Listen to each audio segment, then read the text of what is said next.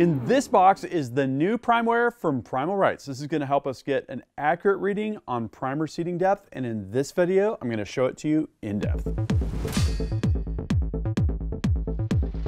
Gavin Gee here from UltimateReloader.com. Here on the channel, you've seen the competition primer seating system from Primal Rights. I use it for large and small back of my precision reloading room. In this video, we're going to get the Prime PrimeWhere out of the box. We're going to set it all up. We're going to talk about the features. Then we'll use it and the competition primer seater in tandem to make depth adjustments and then check those depth adjustments. So I'm going to get this box open. We're going to see what's inside.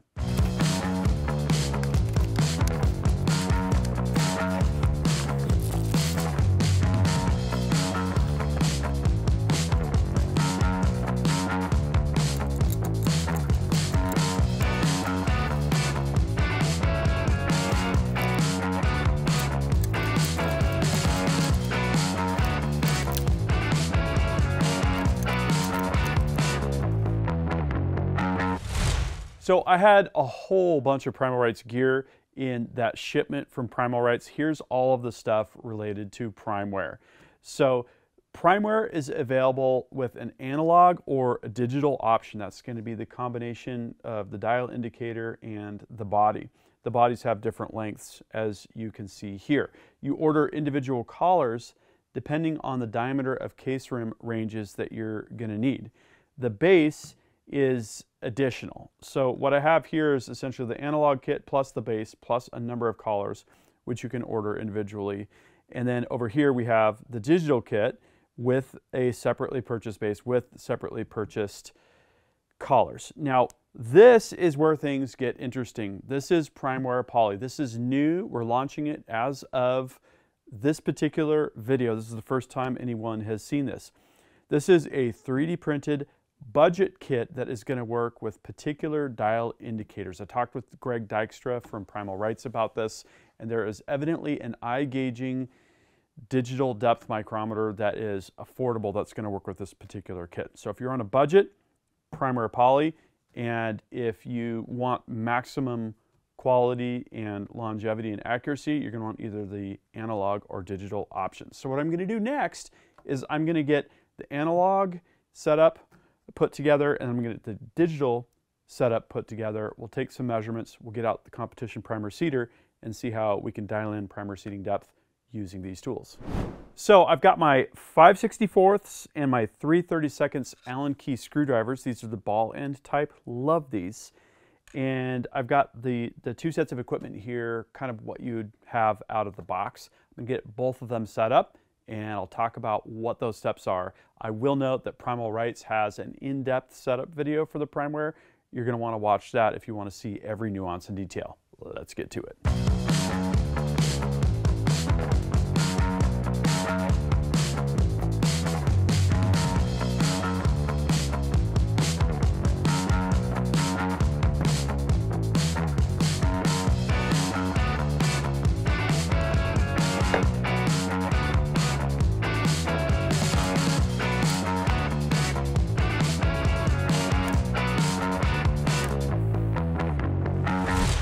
So PrimeWhere setup is really easy.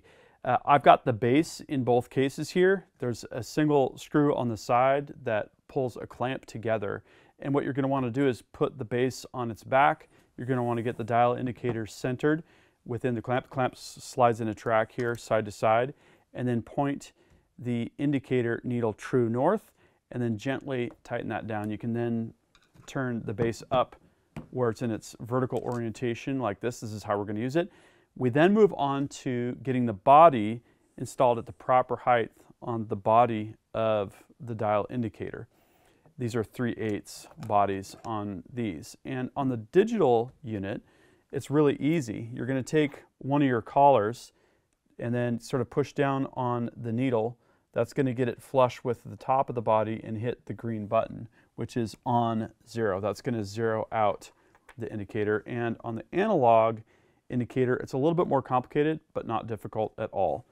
While pushing down on the body, you're going to get one of these collars again and hold it like this, and then loosen and tighten the set and screw in until the needle is pointing almost vertical. You're going to want to get in the right travel range there, and every complete revolution of the needle is 100 thousandths of an inch. And then tighten it down, and then you've got this little clamp over here where you can rotate the whole dial to zero it perfectly, just like you would on a mill or a lathe or a precision measurement scenario in the machine shop.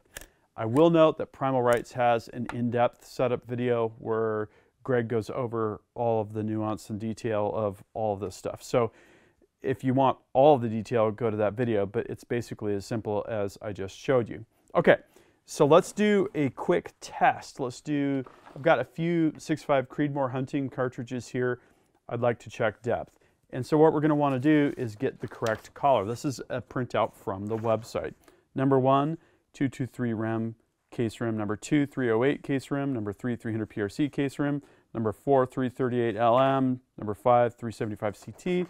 Number six, six arc PPC. And number seven, 224 Valkyrie. So I'm actually going to end up using most of these this coming year because uh, I've got that. And then the options of analog or digital indicator and then the indicator stand is separate. I'll, I'll note that there's collar storage here on the top, which is cool. I'll get that set up uh, when we get done with all of our tests and that kind of thing. Okay, so we're going to take the number two and kind of place it on the top and give it a quick turn to lock it in place. And the vertical position of these collars is not super critical. These are for centering the case rim on the top of the body and making sure that the primer is properly located over the needle. Okay, so first cartridge is going to be pretty close to zero, a little bit negative. That's probably not deep enough. Let's see what it says on the digital.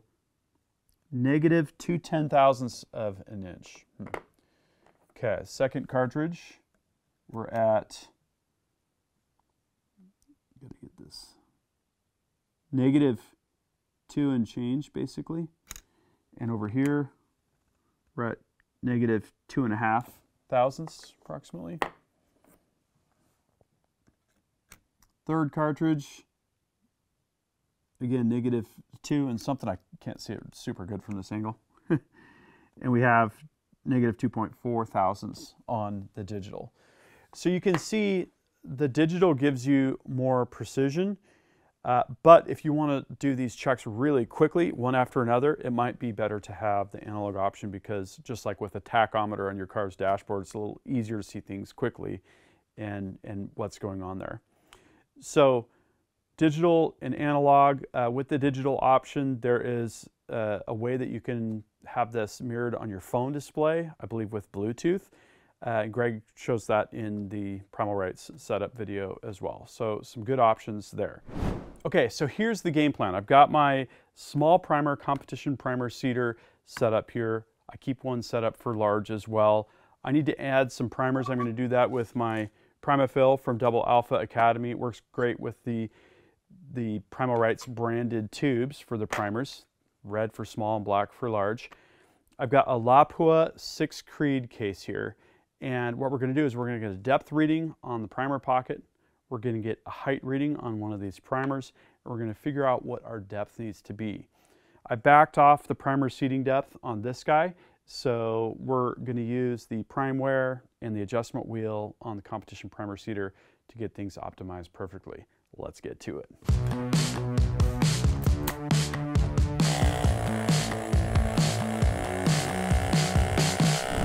There we go. I never, and I mean never want to go back to stabbing primers on the primer flip tray. So what's cool about this guy is that you can take this little magnetic insert and flip it there's large on one side and small on the other. It's uh, battery powered and it's affordable. So been using that a lot. In fact, pretty much for, for everything. Okay, so we drop here, good to go there. Now that we've got primers loaded, let's do our calculations to get optimal seating depth on the competition primer seater. I've got the 6 Creed Lapua case here. Let's get an initial reading on our primer pocket depth. So it looks like we're at 122.2 for that.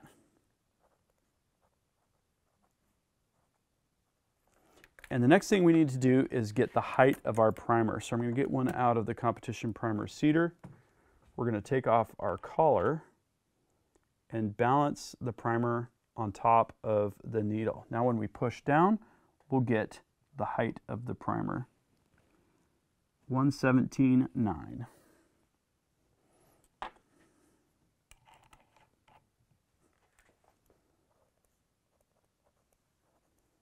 Okay, so I'm going to do a little math and we'll get the depth needed to just bottom out in the primer pocket.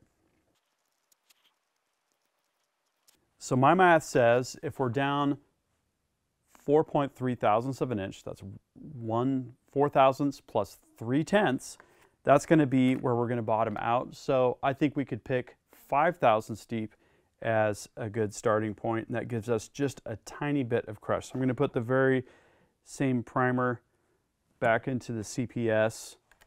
Let's seat this and see, see where we're at initially. So 2.6. So we might need to go, let's go a couple more clicks, see where that gets us. Each click is a thousandth of an inch of punch movement. And based on springback and other dynamics, that won't necessarily translate to exact primer seating depth. So it looks like we're at negative 4.7 thousandths of an inch, and that gives us just a little bit of crush. I'm going to call that a great result. So as you can see, the PrimeWhere is a great tool for establishing primer pocket depth, for establishing primer height, and then for validating your primer seating depth. And I personally feel like this would be a great tool to use with all of your ammunition. If you're going hunting, you want to make sure that those hand loads that you're using for hunting have properly seated primers. And if you're going to a match, the consistency of your primer seating depth can affect the accuracy, and you're going to want to make sure that everything is seated enough so that you don't have a light strike. That would be the worst thing to happen during a match. So kind of like when I've showed the Annealing Made Perfect amp press and its monitoring of bullet seating forces, this is another great quality check to make sure that your ammunition is absolutely top notch. Here's what I'd like to know is what do you think about the PrimeWhere and the competition primer seater? Are you a super exacting hand loader and shooter? Tell me what you'd use this for and why you like it, or if you have one, the kind of results that you've been getting. That concludes this video, and that means it's time to wrap it up. I hope you enjoyed this video. Don't forget to like and subscribe. Also, we're on Facebook, YouTube, Rumble, where we've got unrestricted content, and Instagram. Make sure to follow us on all those channels. Ultimate Reloader also has a commercial solutions division serving law enforcement, the military, and the gun industry. We have some unique capabilities, including a comprehensive suite of recoil testing and evaluation capabilities, trigger profiling, and more. If you're interested in custom rifles like what we build here on the channel or gunsmithing services, you're going to want to go to rifles.ultimatereloader.com and get on the wait list. If you're interested in becoming a professional gunsmith, check out the Sonoran Desert Institute. They've got a degree program, they've got a certificate program, and you can study from home. Learn more at sdi.edu. Thanks again for watching.